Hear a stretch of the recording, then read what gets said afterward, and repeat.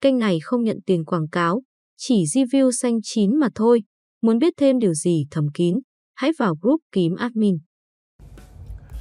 Chào bạn, mình là Huy. Hôm nay thì mình đã mua được một chiếc Oppo Enco E2. Chúng ta sẽ cùng à, mở hộp và test nhanh các chức năng của cái mẫu tai nghe này. Chiếc tai nghe này thì mình mua của một à, anh trong group để lại cho mình với mức giá cũng rất là ok nên là mình đã quyết định mua luôn thì ờ, Oppo Enco E2 thì cũng mới có bán chính hãng thôi các bạn mình đang thấy giá chính hãng của nó rơi vào khoảng độ 1 triệu 490 nghìn. Bọc rất là kín. Oppo Enco E2 đây là tai nghe dưới dạng earbud các bạn nhé.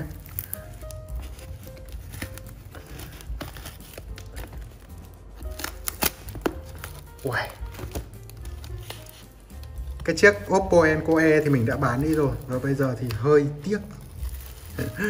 Đáng lẽ là phải để lại để so sánh với nhau Nhưng mà kiểu ít dùng đến quá Thì đôi lúc hứng lên lại mang ra bán. Bán xong thì đến lúc sau lại cần. Cho nên uh, gần đây thì mình rất là ít bán lại tai nghe.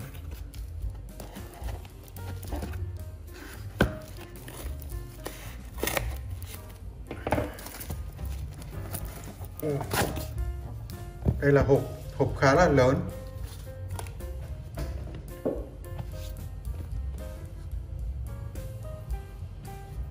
Oppo Enco E2 Mặt sau này thì chúng ta sẽ có là thiết kế dưới dạng là có thể nhìn xuyên suốt à. Ở phần nắp Trọng lượng của tai nghe chỉ 3,5g thôi các bạn ạ Rất là nhẹ. Driver là 13.4mm này. Ờ, nó có một công nghệ là Line Stereo Sound Effect. Thời gian sử dụng tổng cộng lên đến 24 tiếng. Ok, đây là cái truyền tải kiểu kết nối đến cả hai tai các bạn.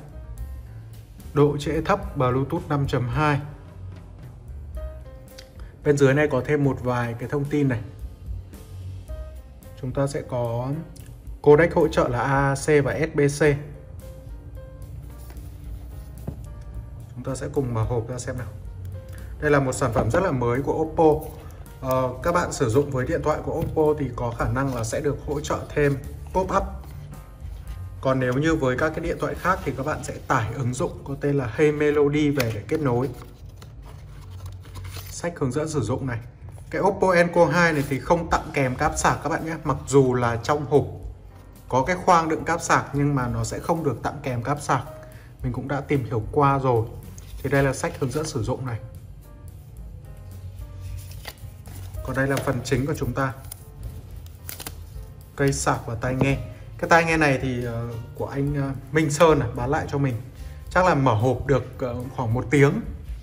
Hôm nay rất hay bán lại kiểu đấy. Các bạn có thể tham gia vào group mình đặt link ở bên dưới để chúng ta có thể giao lưu trao đổi mua bán những cái mẫu tai nghe này hoặc là cùng nhau săn sale, hỗ trợ nhau trong quá trình sử dụng các mẫu tai nghe. Đây, mình đã mở ra rồi này. Bây giờ thì mình sẽ kết nối thử.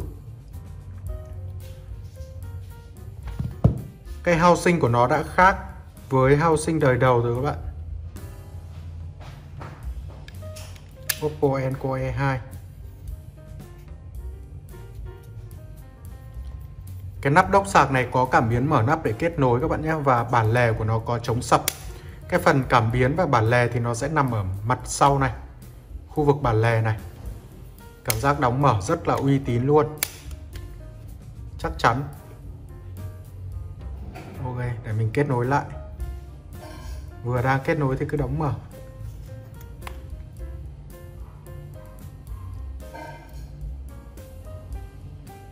Kết nối này. Ok, đã kết nối này. Mình đã tải ứng dụng về rồi. Để xem là trong ứng dụng thì chúng ta sẽ có những cái tính năng gì. Ô đâu rồi? Play Melody. Cài đặt Cái này là do Mình nhớ không nhầm là do cái YouTube Ven này chúng ta sẽ phải xóa cái micro G đi ạ. À.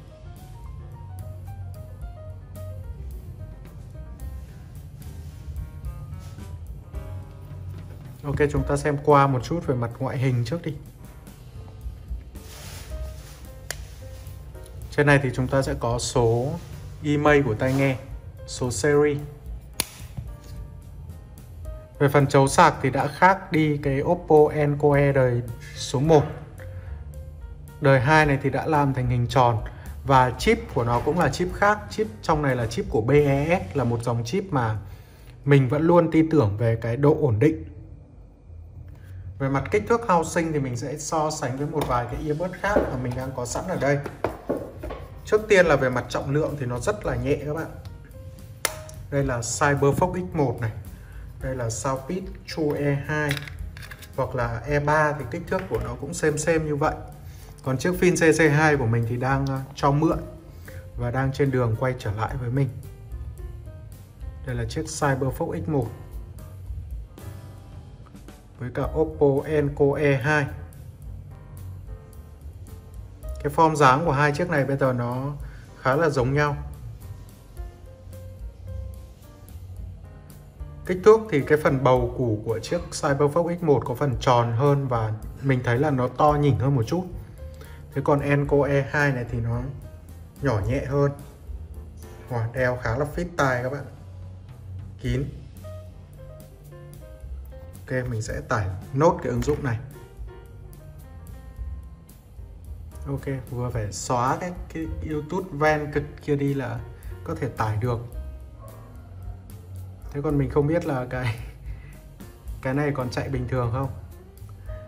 Mình thì vẫn để để nghe chuyện đêm các bạn nghe kênh ờ, tủ sách tinh hoa giọng đọc của thái hoàng phi à? nghe giọng nghe khá là cuốn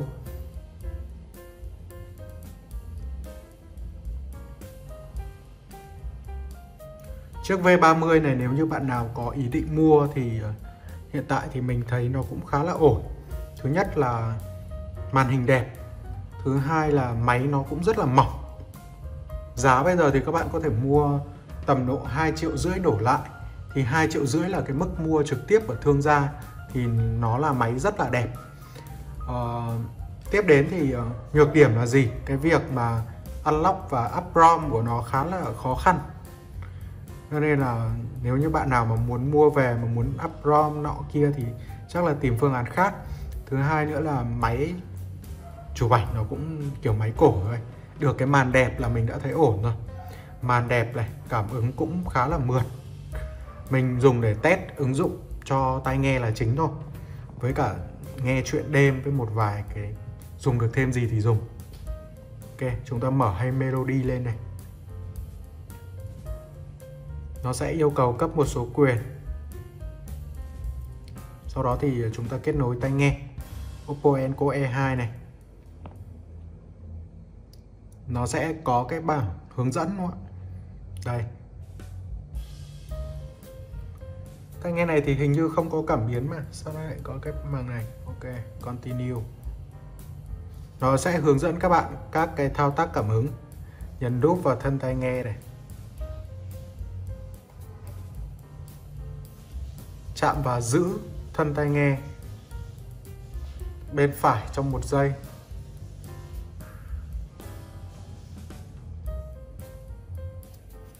Bên trái trong một giây để giảm âm lượng. Các cái thao tác này thì chúng ta có thể tùy biến ở trong uh, ứng dụng được các bạn nhé. Giao diện này. Trước tiên thì chúng ta sẽ có pin của tay trái tay phải để xem là có hiện pin của đốc hay không. Thì nếu như muốn xem pin của đốc thì đấy các bạn phải bỏ tai nghe vào trong đốc thì nó mới hiện được pin. Vì cái đốc này thì bản thân nó không có bluetooth nó sẽ tín hiệu là từ cái tai nghe truyền lên thông tin là từ cái tai nghe truyền lên. Ok, tiếp đến thì chúng ta có những cái gì? Có bật tắt chế độ game mode này, và game mode của con này mình nhớ không nhầm là 88 mili giây à? Nói chung là ở mức ổn. Update firmware thì chắc là khi mở hộp thì chủ của nó đã update rồi. Ở đây là một vài cái chế độ EQ chế độ mặc định này, passport này và clear vocal này hết rồi. Bên cạnh này, chúng ta sẽ có điều chỉnh thao tác cảm ứng. Đầu tiên thì sẽ có thao tác hai chạm, ba chạm, nhấn giữ. Chúng ta sẽ không có thao tác một chạm. Điều này thì sẽ ít thao tác đi, nhưng mà hạn chế cái việc vô tình chạm nhầm. Ở đây, thao tác hai chạm thì các bạn có thể tiến lùi bài hoặc là tắt đi này. Trong mỗi cái phần này, các bạn đều có thể tắt đi. Cái này sẽ rất có ích cho những người mà sợ bị chạm nhầm hoặc là ít dùng cảm ứng ví dụ như tai nghe earbud với mình thì mình chỉ sử dụng vào ban đêm khi nghe chuyện ấy thì mình hoàn toàn có thể tắt hết các thao tác cảm ứng đi. À, để tránh việc đúng không lăn qua lăn lại thì bị chạm nhầm. Đây là cái tùy biến khá là hay. Nhấn giữ thì có tăng giảm âm lượng này có tiến bài có bật tắt game mode có gọi trợ lý ảo. Ok mặt sau này thì không có gì nữa rồi chủ yếu là hai trang đầu. Thì đây là giao diện ứng dụng của chúng ta. Về chiếc tai nghe thì cây của nó vẫn khá là giống với, gần như là giống hệt với đời đầu. À không các bạn. Đời đầu thì mặt sau này nó không in chữ nghĩa số má loằng ngoằng như này đâu các bạn. Nó để trắng tinh cơ. Thế còn in này, nhìn mình nhìn thấy nó hơi củ chuối.